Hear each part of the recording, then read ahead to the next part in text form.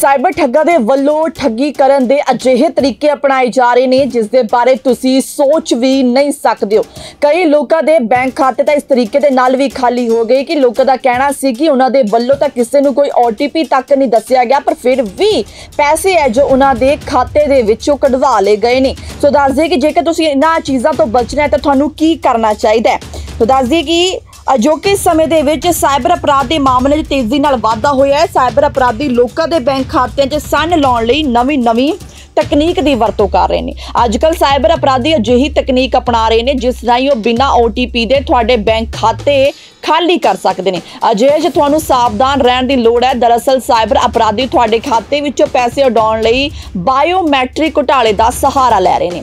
Biometric ਵੇਰਵੇ leak ਹੋਣ ਦਾ ਖਤਰਾ। ਜੀ ਹਾਂ, ਦਰਅਸਲ ਸਾਈਬਰ ਅਪਰਾਧੀ ਲੋਕਾਂ ਦੇ ਬਾਇਓਮੈਟ੍ਰਿਕ ਵੇਰਵੇ ਪ੍ਰਾਪਤ ਕਰ ਸਕਦੇ ਨੇ ਤੇ OTP ਤੋਂ ਬਿਨਾਂ ਉਹਨਾਂ ਦੇ ਬੈਂਕ ਖਾਤੇ ਖਾਲੀ ਕਰ ਸਕਦੇ ਨੇ।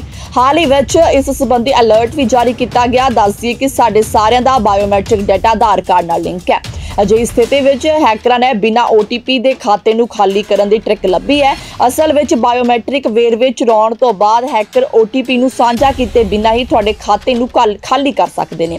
ਅਜਿਹੇ ਵਿੱਚ ਜੇਕਰ ਤੁਹਾਨੂੰ ਬਾਇਓਮੈਟ੍ਰਿਕ ਡਾਟਾ ਦੀ ਜ਼ਰੂਰਤ ਨਹੀਂ, ਤਾਂ ਤੁਸੀਂ ਡਾਟਾ ਨੂੰ ਲੌਕ ਕਰ ਸਕਦੇ ਹੋ। ਅਸਲ ਦੇ ਵਿੱਚ, ਸਾਡੇ ਆਧਾਰ ਕਾਰਡ ਦਾ ਬਾਇਓਮੈਟ੍ਰਿਕ ਡਿਫਾਲਟ ਰੂਪ ਵਿੱਚ ਅਨਲੌਕ ਹੁੰਦਾ ਇਸੇ ਕਾਰਨ ਜਦੋਂ ਸਾਨੂੰ ਕਿਤੇ ਆਧਾਰ ਬਾਇਓਮੈਟ੍ਰਿਕ ਪ੍ਰਮਾਣਿਕਤਾ ਦੀ ਜ਼ਰੂਰਤ ਹੁੰਦੀ ਹੈ, ਤਾਂ ਅਸੀਂ ਬਿਨਾਂ ਕਿਸੇ ਪਰੇਸ਼ਾਨੀ ਦੇ ਆਸਾਨੀ ਨਾਲ ਵੈਰੀਫਿਕੇਸ਼ਨ ਕਰ ਸਕਦੇ ਹਾਂ। ਪਰ ਜੇਕਰ ਤੁਹਾਡਾ ਡਾਟਾ ਉਸ ਥਾਂ ਤੇ ਲੀਕ ਹੋ ਜਾਏ, ਜਿੱਥੇ ਤੁਸੀਂ ਬਾਇਓਮੈਟ੍ਰਿਕ ਵੈਰੀਫਿਕੇਸ਼ਨ ਕੀਤੀ ਹੈ, ਤਾਂ ਤੁਸੀਂ ਘਪਲੇ ਦਾ ਸ਼ਿਕਾਰ ਹੋ ਸਕਦੇ ਹੋ। ਅਜਿਹੇ ਦੇ ਵਿੱਚ ਜੇਕਰ ਆਧਾਰ ਬਾਇਓਮੈਟ੍ਰਿਕ ਵੇਰਵੇ ਨੂੰ ਲੌਕ ਨਹੀਂ ਕੀਤਾ, ਤਾਂ ਡਾਟਾ ਲੀਕ ਹੋਣ ਦੀ ਸੰਭਾਵਨਾ ਵੱਧ ਜਾਂਦੀ ਹੈ। ਸੋ ਕਿਸ ਤਰੀਕੇ ਨਾਲ ਬਚਣਾ ਹੈ।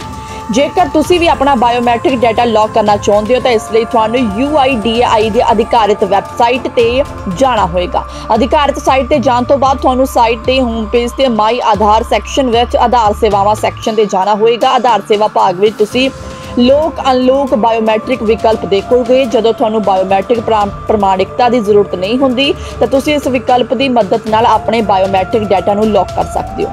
ਜੇਕਰ ਲੋੜ ਪਈ ਤਾਂ ਇਸ ਆਪਸ਼ਨ ਦੀ ਮਦਦ ਨਾਲ ਤੁਸੀਂ ਬਾਇਓਮੈਟ੍ਰਿਕ ਡਾਟਾ ਨੂੰ ਅਨਲੌਕ ਕਰ ਸਕੋਗੇ। ਜੇਕਰ ਬਾਇਓਮੈਟ੍ਰਿਕ ਡਾਟਾ ਅਨਲੌਕ ਰਹਿੰਦਾ ਹੈ ਤਾਂ OTP ਸ਼ੇਅਰ ਕੀਤੇ ਬਿਨਾਂ ਵੀ ਖਾਤਾ ਖਾਲੀ ਹੋਣ ਦਾ ਖਤਰਾ ਹਮੇਸ਼ਾ ਹੀ ਲੱਗਿਆ ਰਹਿੰਦਾ ਹੈ।